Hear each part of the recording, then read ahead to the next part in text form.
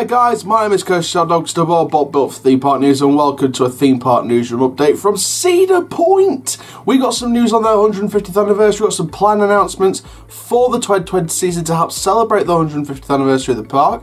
Uh, so we're going to be going through all of that, including the main new attraction for next year, which is called Snake River Expedition. A bit more on that later on.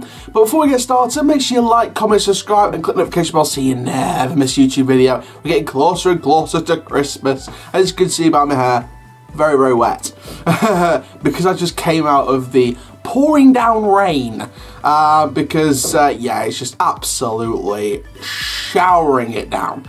Um, but hopefully it won't put off this video. So let's zoom into the video and let's have a look at Cedar Point's 150th anniversary. So we've got some details, we've got some specifics, and we're going to go through each one individually. So I uh, hope you like what's coming your way.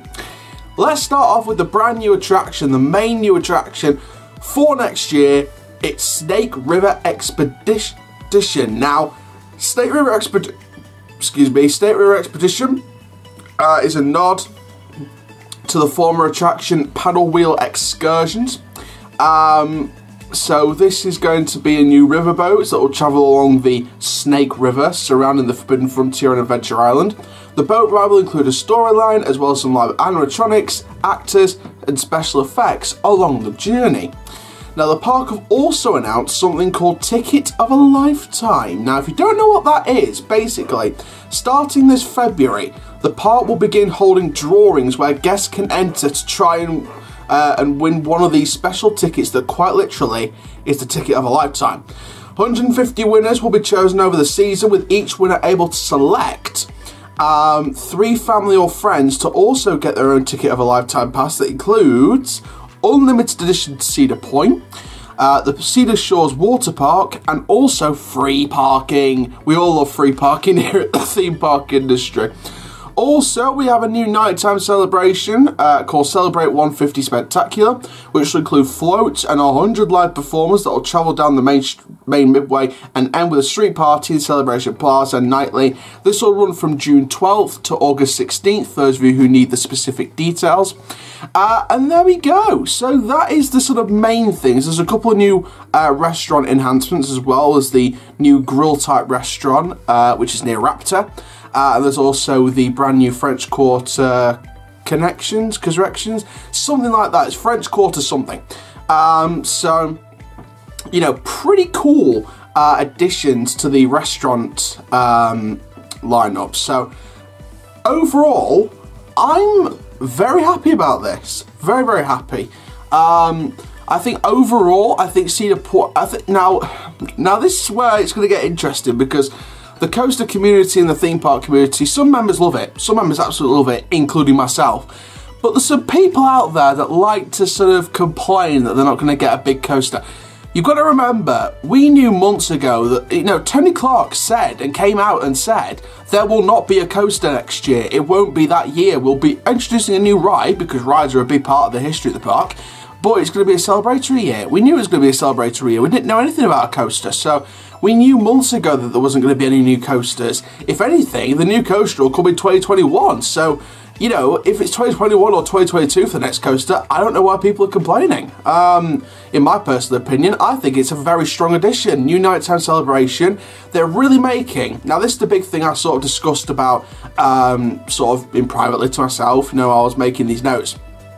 Um, one big thing that I noted was the fact that Cedar Point is being made more into a theme park rather than just a like a coastal uh, amusement park with a load of coasters like this like the coaster capital of the coasts you know? They're not becoming that anymore. They're becoming a proper themed park on the coast. Uh, and they're really going for the themed route here uh, we saw the changes back in 2014 when they brought in the Gem this new rise to the Gemini Midway, the two new family rides. You saw the landscape change the year earlier, after uh, before that, with 2013 with Gatekeeper on the Disaster Transport and Space Spiral site. That really opened the views up to the beach a bit more, and it really gave the front gate a brand new uh, entrance. It gave them a brand new signature um, sort of inversion over the new entrance gate as well. So they were thinking about the themed experience. They were doing a two-year renovation at Hotel Breakers that started in 2014, ran through into 2015. Um, you know, and they've they've included plenty more things since then. They've improved stuff. They've improved Mean Streak, which is one of the worst coasters according to some people. Um, and they've made it one of the best coasters in the world with Steel Vengeance. They brought in Valravn a couple of years before that, which the B&M Dive, you know, on the old Showtime Theatre um, sort of spot site. Uh, you know, that was a pretty cool investment. You can walk under a Gatekeeper Zero G roll under the keyhole, or you can walk under Valravn's Break Room uh, at the other end of the site. Uh, but overall, I'm not complaining. I think this is brilliant. Bring back a classic attraction in a brand new form and bring into and to be fair from the details from that I'm really excited about this um, you know, hearing about the, the live actors, the special effects, uh, the storyline, you know, with all that being added. I'm really excited about this. I hope you guys are really excited as well. The nighttime celebration, again, fantastic addition, exactly what the park needed.